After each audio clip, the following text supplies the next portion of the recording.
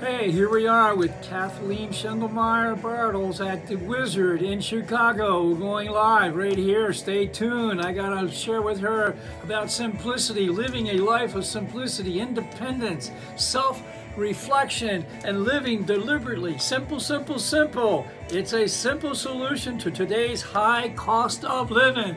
Whoa!